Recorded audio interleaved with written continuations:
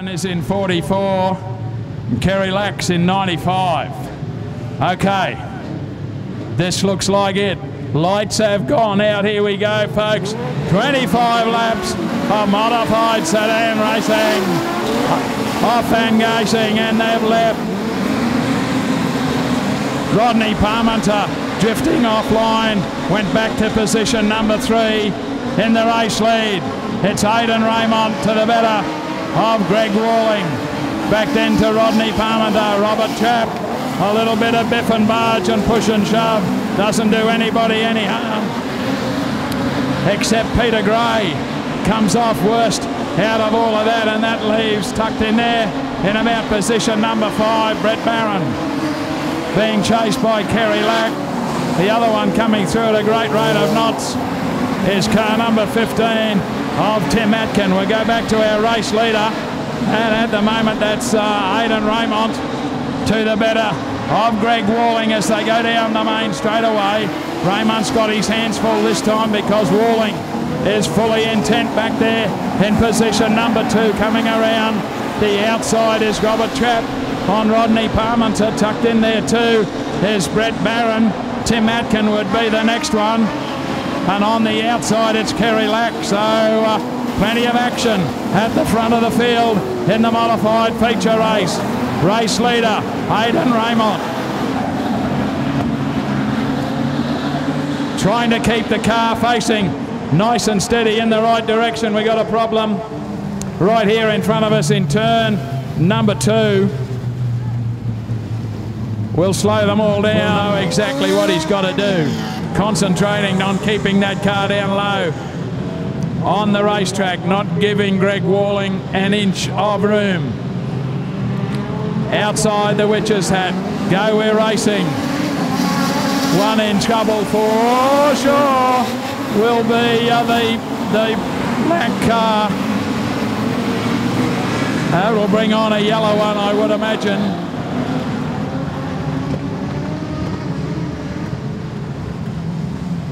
Jason Gray got going very quickly, tried to pull out of it. The car behind had nowhere to go. And uh, car 78, some major damage to the rear end of the car sedans. Aidan Raymond leads them away. Greg Walling's right behind him. Rodney Parmenter. Next one through there would be Brett Barron. A bit of a scrap then between uh, the 72 car of Shane Langton. Don't tell me we got a yellow one again. Brett Barron. Kerry Lack. And Shane Langton to the outside of the witch's hat we go. Nose to tail restart. Good start from the front of the field as uh, Aidan Raymond leads them down the back chute. With Greg Walling in close pursuit. Rodney Parmenter. Here comes Walling underneath as they head down the main straight away. Uh, Aidan Raymond shuts the door on him. We're on 20 to go. Aidan Raymond, Greg Walling, Rodney Parmenter, Brett Barron, back then to Kerry Lack in front of Shane Langton. No changes to that. The one on the passage up through is Darren Lester trying to get up underneath the 72 car of Shane Langton. So a bit of movement back there in towards the middle of the pack. We go back to the race leader. That's Aidan Raymond leading from Greg Walling. Back then we go to Rodney Parmenter, who's closed the gap up very quickly. Back behind him, it's still Brett Barron. Then we've got Shane Langton with a whole gaggle of cars behind him. Kerry Lack on the outside. The one on the inside would be Darren Lester. In there too with them is uh, Mick Shelford and Matty Smith. So they're arguing about some minor placings, and it's very close, tucked in there. We go back to the race leader, though. That's Aidan Raymond. Aidan Raymond. Greg Walling down the main straight. Rodney Parmenter, very quick in a straight line. Back behind them, it's Brett Barron. A bit of a gap back, then we find uh, Darren Lester breaking away from the pack. They're coming up on Pacey Clegg. to put a lap on him. He'll move out of the way as David Head brings car 24 onto the infield. Race leader heads down the back chute. That's Aidan Raymond. In the western corner, Pacey Clegg trying to stay out of harm's way, pulling out back on the racetrack in front of the uh, fast coming cars was in fact Peter White and that caused all sorts of chaos and uh, Aidan Raymond up on the tail of Pacey Clegg. Clegg wants to argue the point on the outside. Remember, he has to hold his line. That's all he's got to do. He doesn't have to slow down. Greg Walling not far away. The car on the outside is a lap car. That's Pacey Clegg. We got a yellow one again because we've got car 69 with a wheel rolling onto the infield. That might be his, but car 69 up against the fence. That's Russell Harris with an escaped wheel.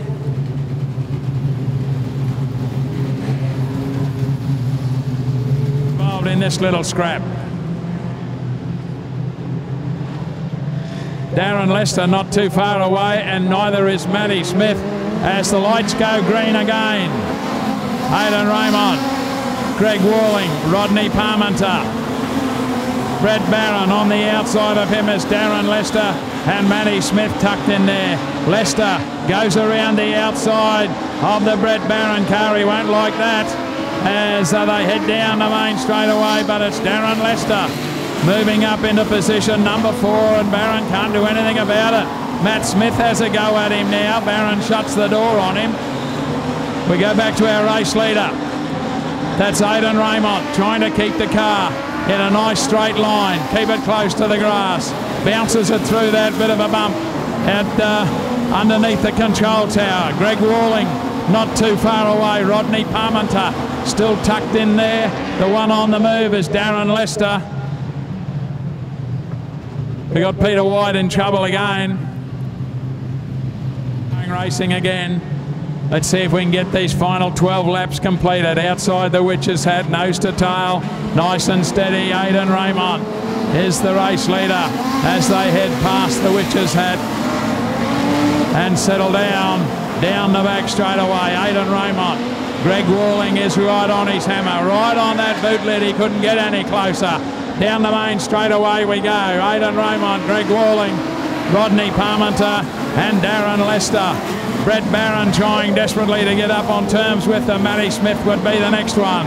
Tucked in there in car 72 is Shane Langton. Have a look at Walling. Has a little look down the inside. Aidan Raymond versus Greg Walling. Rodney Parmenter still in the action, as is Darren Lester, as they head down the back chute and underneath the pit gate. It is still Aidan Raymond. Round the western corner, we got the yellow lights yet again.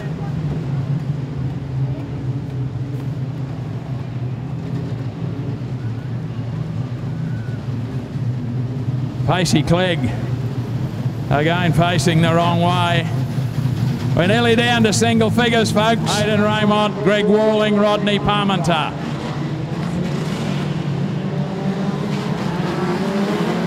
Off and racing with 10 remaining.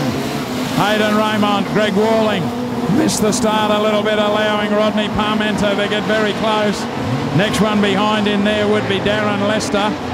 Behind him is still Brett Barron, Matty Smith, and a car 72 of Shane Langton. That's the way they go underneath the control tower. Aidan Raymond, the race leader. Greg Walling, can he find a way underneath or around the outside. I don't think he's willing to have a go on the outside. Rodney Parmenter probably uh, happy to sit there in third. As we said that, he comes charging up the inside of Greg Walling.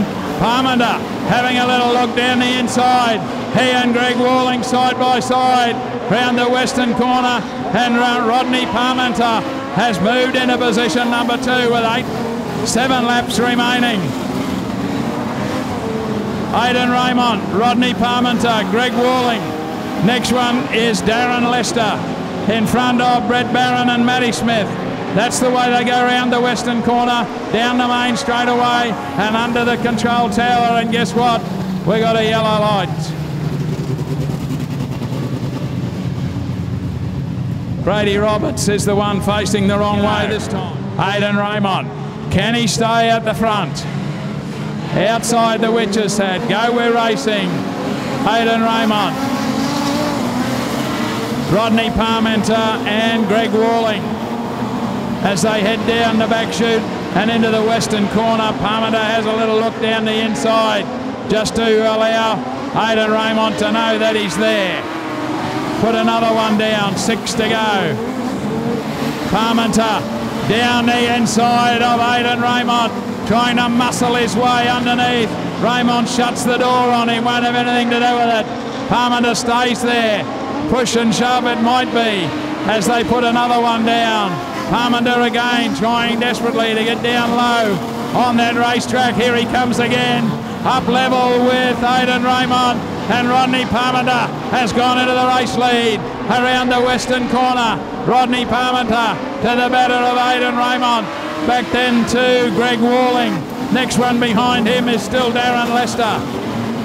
Then we've got a bit of a scrap developing as around the outside comes Tim Atkin. Drives around the outside of Brett Barron, Greg Walling. Having a little look down the inside of Aidan Raymond. Can't do anything about it. Darren Lester on the outside. He says, here I come. Car number 59, can he do it? Race leader, Rodney Parmenter in the western corner. Have a look at Darren Lester up high on the racetrack. Greg Walling doesn't want to give him any room. They're all chasing Aidan Raymond, who holds on to two. The white flag will be waiting. Next time around, Rodney Parmenter. Aidan Raymond has a little look down the inside to no avail. The car on the outside is Darren Lester. He's got up to position number three. Greg Walling back to four. White flag, one to go. As uh, Rodney Parmenter leads them down the back chute for the last time and into the western corner. Point score leader at the start of the night is going to win the final feature event in the Golden Helmet Series. Rodney Parmenter, Aidan Raymond, Darren Lester, Greg Walling in front of Tim Atkin. The next one would have been Brett Barron, Matty Smith in front of Wade Cunningham.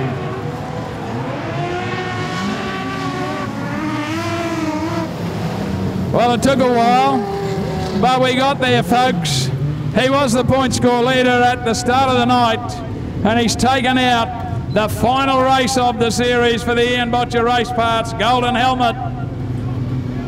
Rodney Parmenter, put your hands together for him as he does his lap of honour. He is the New South Wales number one. He's also Charlton Raceway number eight. Rodney Parmenter, Aidan Raymond, and Darren Lester. Excellent stuff from the modifieds here tonight at Kingaroy Showground Speedway.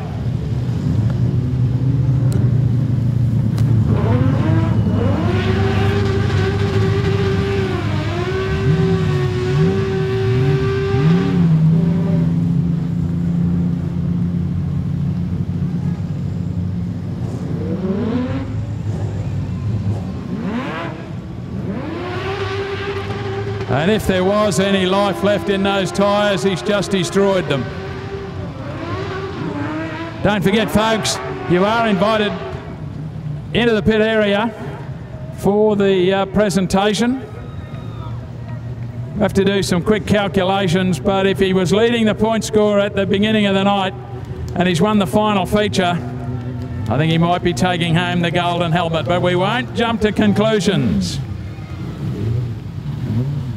Rodney Parmenter